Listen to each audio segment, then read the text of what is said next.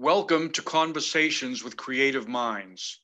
We have been searching for the meaning of creativity and the role it plays in our daily life.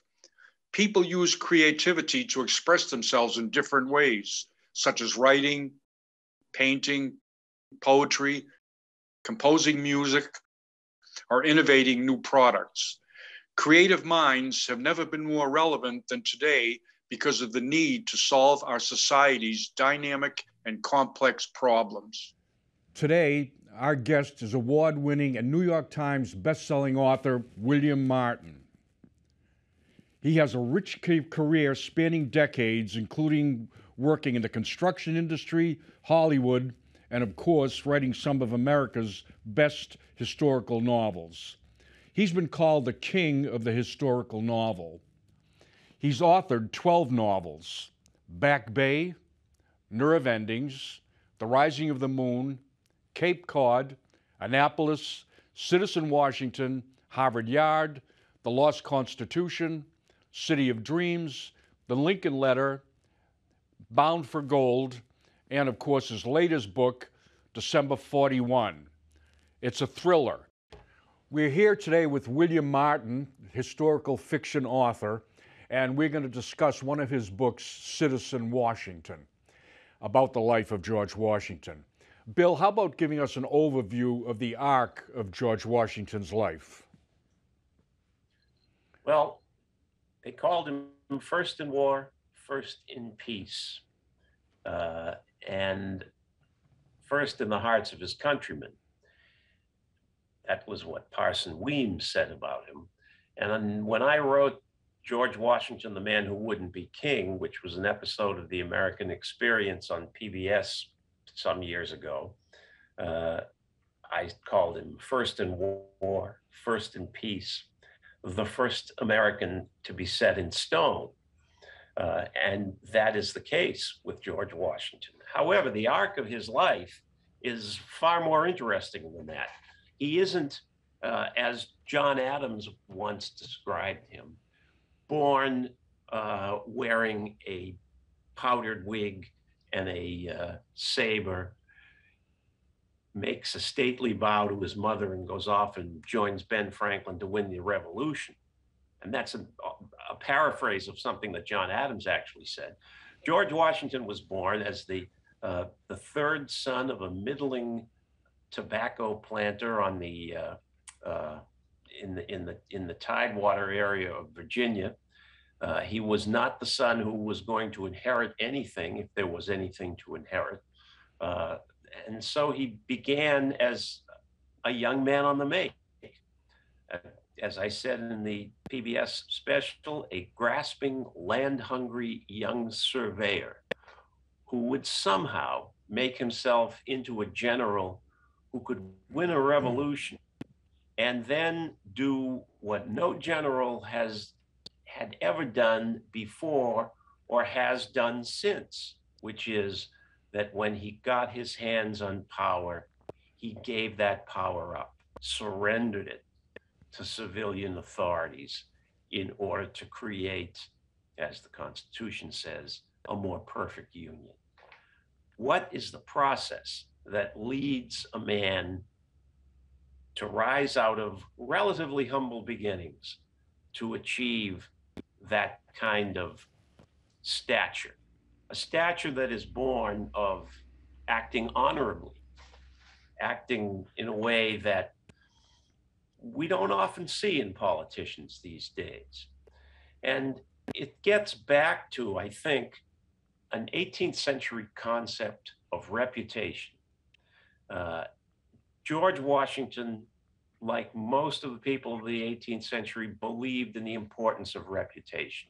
And just to get started, I want to read you a little passage out of Citizen Washington, uh, which is a novel that is told through the uh, through 12 different narrators, some of them fictional, some of them historical, who tell their own life stories while they're telling the story of their their encounters and their lifelong relationships with with George Washington.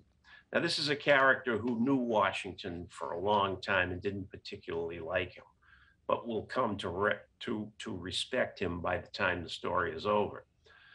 It was a small world we moved in, don't forget. And what people thought about you mattered. You might think I don't give two damns for what men think about me, but your reputation means everything. It means more than saying you're good in a fight or rich or smart. It means you have the respect of the men around you. It means you know who you are, and so does everybody else. It means your credit's good. Hell, it means you can say the cows will come home at dawn instead of at sunset, and nobody's going to get up early to prove you wrong. Uh, that's kind of the distillation, uh, a colloquial distillation of what reputation meant to all, all of these people.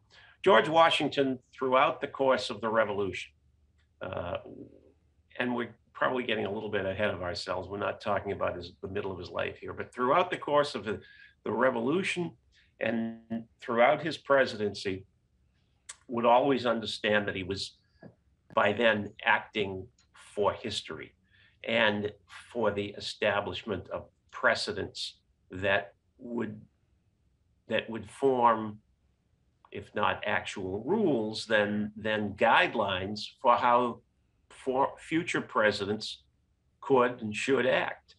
Uh, and so it's just very interesting to me, and always has been as a writer, to trace that that arc almost from those those humble beginnings. He wasn't born in a log cabin the way that Lincoln was, but close to it, and um, he became as uh, as the King of England would say, King George III. After Washington surrendered the army and went home, uh, King George III heard about this and says, if Washington can do this, he'll be the greatest man in the world. So, kind of his um, his character uh, was developed by his reputation, or his reputation and character were intertwined right. Uh, right. throughout his well, life. Well, they were, they, most of the boys who were being educated, and it was mostly young males who were educated. Young women were basically taught taught to read and to knit. Uh, their world, not ours. Uh, most of the males who went, who went, to school, and Washington did for a time, uh, would be given a book called The Rules of Civility in Decent and Decent Conversation in, uh, no, The Rules of Civility and Decent Behavior in Company and Conversation.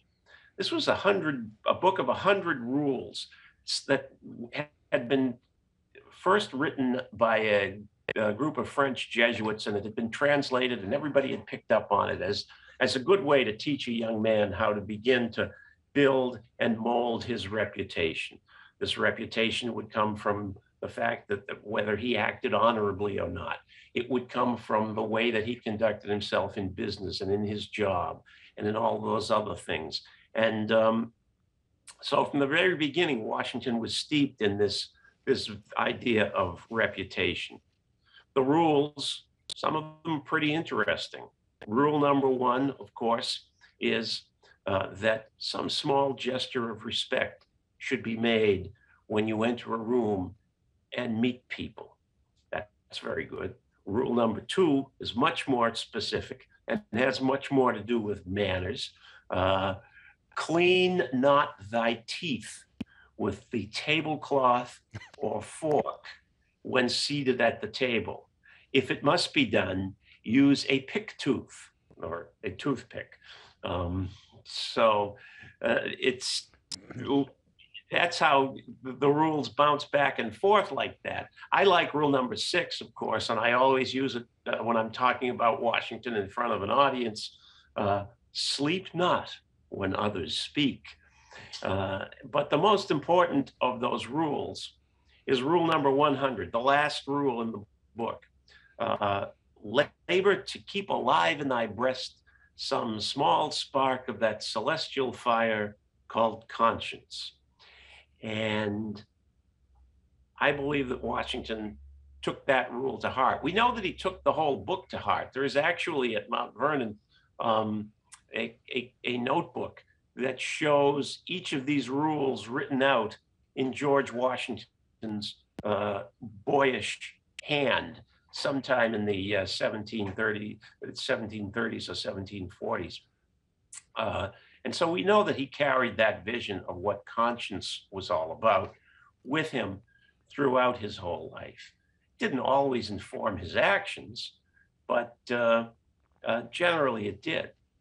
You know, his father died, his brother married well and moved up to that place that he he named after uh, a general that he had served with. This is the, the brother uh, um, Lawrence Washington, and the general was General Vernon, and so he got this promontory of land on the Potomac and called it Mount Vernon. His, his brother George would later inherit Mount Vernon. Um, but young George recognized that uh, the way to begin to establish your reputation as a man of business and property was to get your hands on some property. And so he began studying surveying because uh, the best surveyors got the first look at the best lands. And he began buying up small pieces of property here and there. And by the end of his life, he would be, as uh, the old saying goes, land rich and cash poor. But he sure would own a lot of land. Uh, and that was that was how he got started in the world of business, was as a young surveyor. Uh, we forget, however, that the next step in becoming a um, uh, a man of property and reputation was to get a commission, serve in the military. And so he wanted to serve as a British officer and angled for that position for a long time. Uh, after his father died, when he was still young, one of his mother's brothers, um, or no, one of his patrons in Virginia got him a commission in the British Navy uh, George Washington was ready to set off and become a midshipman in the British Navy. And uh, his uncle, the brother of his mother, said, Don't let him do this. Uh, he is the orphaned son or the fatherless son of an American or, or of a colonial who was, had no estate has no connections, has no power in the British power structure. If you put him aboard a ship like that, with the hopes that he will rise to become a captain or uh, or something higher than that, it will never happen.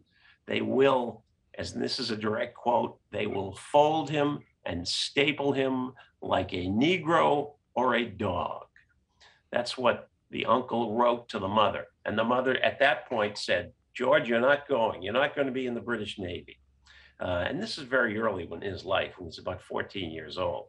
Uh, and that was what led him to decide okay, if I can't do this, I'll become a surveyor. Uh, he, he learned the business of surveying, got out on the frontier, learned how to live uh, live in the, the roughest and toughest of environments uh, because surveyors were out there sleeping on the ground for six months out of the year. And um, quite often in the winter, when the uh, leaves were off the trees, so it was easier to make your sight lines and things like that. And um, uh, out of that, he he got well toughened up too. And so back in Virginia, back down in the Tidewater, uh, he did what every good young man should do at the time and become became part of the uh, the militia, the Virginia Militia Regiment. And when the Indian, the French and Indian War came along, that was his first opportunity to rise uh, in the militia as a um, colonial serving at the side of the British troops. And then a long story unfolds out of all of that starting with the fact that George Washington himself probably started the French and Indian War um, when he is sent north on one of his expeditions north northwest uh, to Pittsburgh, at that time called Fort Duquesne, uh, to deliver an ultimatum to the French to get out of the the, the Ohio countries uh, because the British held claim to them, and uh, the French. So he was informed were on their way to meet him and perhaps to attack him. And so he led a detachment of uh, Virginia colonials and um, Iroquois, I think it was Iroquois, I can't remember the tribe, uh, led them to ambush the French. And it happens. They open fire on a gang of French down in a little can, a little canyon or a little valley. Uh, they capture them. The uh, Indian chief Tanacharison kills one of them, who happens to be a French envoy to the British, and um, and out of that will grow the French and Indian War, which of course will lead to the French, um, the British defeating the French, and the British to pay for the taxes on the French, uh, or to pay for the war, will raise taxes on the Americans. The Americans will, will rebel against the British. Um, and the British will, wait a second here. The, the British will raise taxes on the colonials. The French will aid the colonials in rebelling against the British. And in order to pay for that rebellion, they will raise taxes on the French, which will lead to the French Revolution, which will end ultimately in Napoleon. All of that begins with George Washington's action there in the uh, uh, in the remote corner of Pennsylvania, as the British historian Horace Walpole would later write. The actions of a young Virginian uh, in the wilds of North America set the world on fire. And that's when the world first comes to know, become aware of George Washington. I think it's in the year 1752 or so. So he's only 20 years old. He's a young man. So in ambition, his ambitions had far-reaching things happen. I mean, he Yeah. um, he made uh, you know, he he made his mark even maybe not even expecting to a lot of the time. Yeah. Well, that that keeps with the theme of what of that little bit of reading that I just gave you there. That character who is talking about Washington saying it's a small world we moved in. He he means along the tidewater, but the fact is that the population was of the whole world was much, much smaller at the time, and if you happen to be in the right place, the right time, uh, you could make a much, in a way, a much larger impact on the, the whole human race than perhaps somebody in that situation would be today. And, uh, and Washington was one who was in those positions uh, for a long span of time. And we were very fortunate that he almost always made the right decisions, informed by um, the people around him and his concern with their respect or lack of respect for him and for his reputation, and informed as well by that celestial fire called conscience. What's what is right and what is wrong. Now, That's- I, I remember years ago when you did an event at the Royall House in Medford. Mm-hmm. you made the statement that we could have dispensed with any of the founding fathers and the country would fundamentally be the same. But Yep. if we dispensed with George Washington, the country would be fundamentally different. How? How? Why? Would explain that? Because I was I've been fascinated with that statement since you made it many years ago. Um, it, it, it isn't so much that we the country would be different, though. I, it might be, and I'll I'll get to that in a second. But I, I see it as as an arch, an archway uh, that runs from about 1770, 1774 to say Washington's death in um, 1799. uh, that the, the arch of American democracy. And you can take out Hamilton or you can take out Adams or Jefferson. They're all bricks in this in this arch. But if you take Washington out, he's the keystone. He's the one who holds it all together. Uh, not only because he brings South and North together as a Virginia planter, joining with the North, uh, but also because he brings a certain awareness of politics and is a military leader as well. And don't forget, uh, the world up until that point had always turned to military leaders in order to give them governance in times of revolution uh, from the time of Julius Caesar and would again with, with Napoleon shortly, uh, shortly after Washington's death. Um, if you pull Washington out, all the efforts of everybody else collapse because Washington, many times during the American Revolution, is the only guy who's holding it all together. Uh, Adams is off in England trying his best, and Jefferson's doing what he's doing, and so forth. But only one guy is holding the army, the symbol of American resistance, together. You know, Congress is popping to from one city to the next in order to avoid the British and to avoid the uh, um, uh, the, the, law, basically the British law.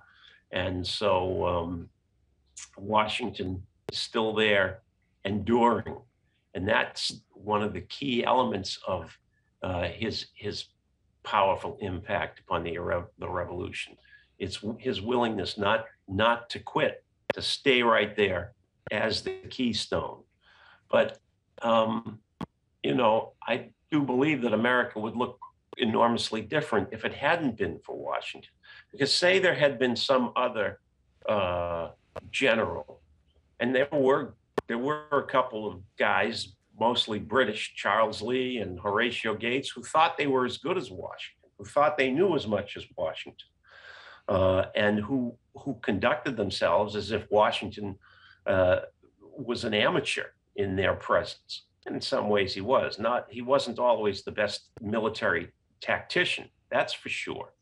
And uh, Charles Lee himself, uh, who had fought on the British side and had now come over to the American side, uh, Charles Lee once said, Oh, what I would not give to be made a dictator for a few months.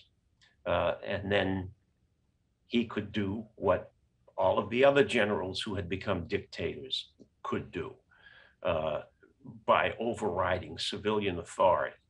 And the thing is that Washington resisted the blandishments to become a dictator. He resisted right up until the end of the revolution. In 1783, he resisted uh, calls from his own officers' corps to make himself king. He was furious about that idea. Why have we just fought?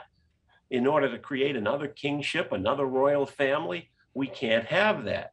George Washington understood and feared as much as the people around him in Congress, people like Franklin and Jefferson and all of them, uh, they feared the man on the horse, the man who would come along and turn the heads of so many Americans uh, by saying something like, I alone can fix it. I alone am the man who can lead you. George Washington, even though history shows that he really was that man, never allowed himself to be seduced by that, that idea. Uh, and committing to the importance of democracy and to the, to the importance of a constitution and to the importance of a political structure uh, that was as carefully balanced as the United States Constitution, which is what Washington did at in the second half of his career, in the political half, when he became the president of the Constitutional Convention, uh, and then, of course, the president of the United States. What Washington did there, culminating with the fact that after two terms, he happily handed over power and stepped away. Um, those are the, the gifts that Washington gives us that, that save us from looking like what we might have ended up looking like.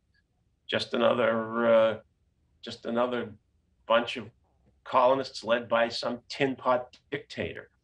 Didn't happen. Thank God. Yeah, thank you, George. Uh, Mhm. Let's revisit civility in this age. Is Mhm. uh, civility and decency important in today's digital world? Does it have a part, or is it recognized, or what do you think? Uh, I think that they should be. They aren't always, you know. Uh, neither is honesty, for that matter. Yeah. Uh, and and it's essential, I think, in the life of a republic that there be some truths that we hold self-evident, and that these truths, uh, whether we're talking about the grand theories of the Enlightenment from the Declaration of Independence, or whether we're talking about whether it's raining outside or not, uh, these truths can't can't be overturned with lies. And when they're proven to be true, you can't just double down and say, "Well, no, the sun is shining when it's when it's pouring rain," and we see that too much in our political discourse today. We elected a man president whose major skill was inventing nasty nicknames for people. And these are things that lead a lot of us to be very concerned about where we're headed in this country. Uh, we've just seen two years ago a violent coup attempt on the United States Capitol itself. And did this come out of a love and admiration for decency and honesty, or did it come from some other source? You know, I've written the novel that we've talked about uh, about the, the the tenor of the United States in the 1930s. There was a great fascist. Uh, send there were plenty of people who thought like the Europeans did in many cases, the Italians and Germans, that that a fascist government would be a good idea in this country. They thought that in, in the United States in the 18th century. And, you know, we see these periods of crisis uh, in our country today. And 50 years ago and back in the Civil War, we see these moments. And we just have to rely on um, uh, decency and, uh, and, and honesty and all of the other virtues that Washington himself was a living embodiment of, uh, at least in the eyes of those around him. Because don't forget, he could also be cranky and had a had a very uh, uh, a very sharp temper and things like that.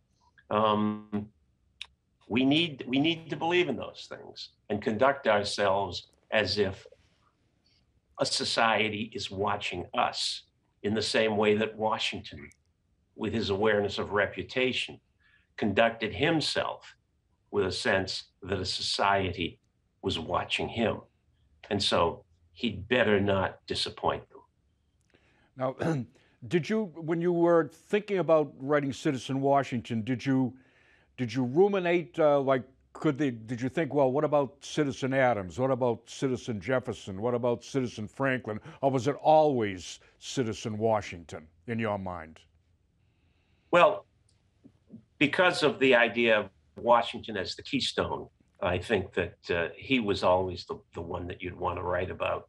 Uh, if you were sitting down to write about one of those those guys and you wanted to tell the full story of the birth of America from the point of view of um, the, the revolution and the Constitutional Convention and all of the rest of it, was actually uh, David McCullough, who said to me one night over dinner, since I had gotten to know him when I was writing uh, that episode of The American Experience, and he was the host of that show.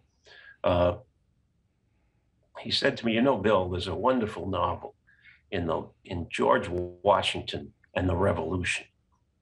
And uh, I thought, yeah, he might be right about that. Uh, of course, he went off and wrote 1776 about one year in that revolution, and that's a fantastic book. I went in the other direction and decided, well, if I'm going to tell the life, if I'm going to tell the story of George Washington and try to get at his character, and what makes him tick, and why he is such a paragon uh, for Americans today as he was then, I'm going to have to tell the whole story from beginning to end. And so I created in Citizen Washington, which, by the way, is uh, it's not in print but you can you can read it uh, through Kindle. It's available as a Kindle or as an audio book. Um, I tried to give you multiple perspectives on George Washington, just as we have multiple perspectives on political leaders today. Um, and uh, that meant creating uh, characters who were slaves, who were Iroquois Indians, who were uh, Virginia planters, along with Adams and Jefferson and Alexander Hamilton and all of the other people who come later in his life, uh, who will all be young men when he's already achieved his um, level of importance as the United States, as, as the general of the of the army, the commander in chief.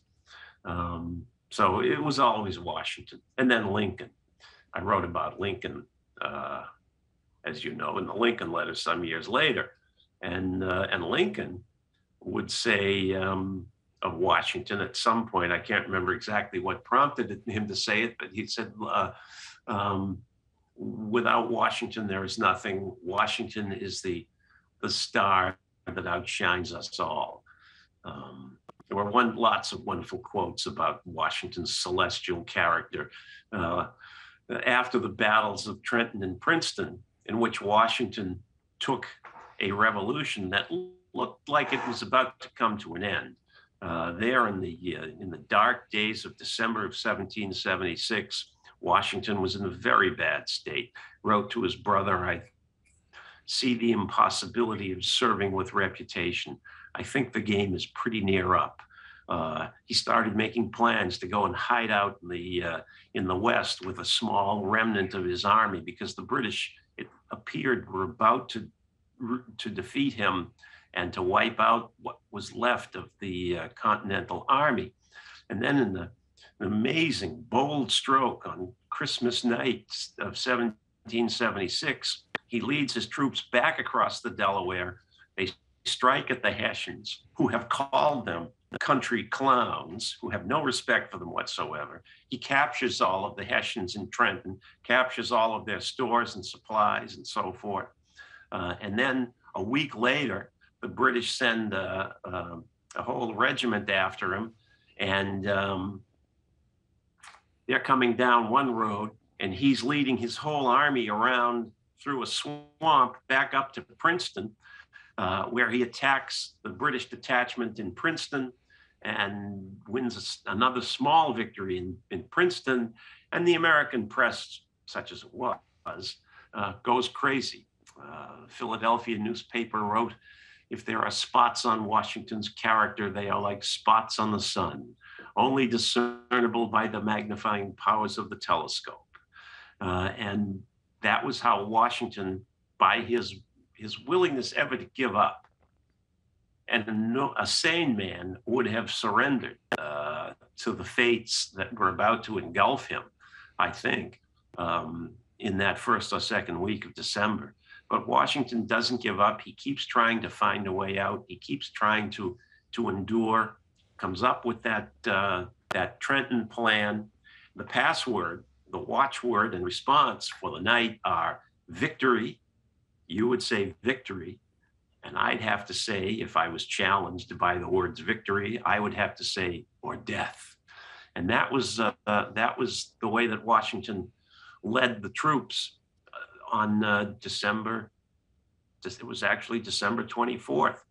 He gathered them that night on Christmas Eve to hear at the riverbank uh, being read to them words that he was moved, deeply moved by, the words of Thomas Paine, writing in the American Crisis.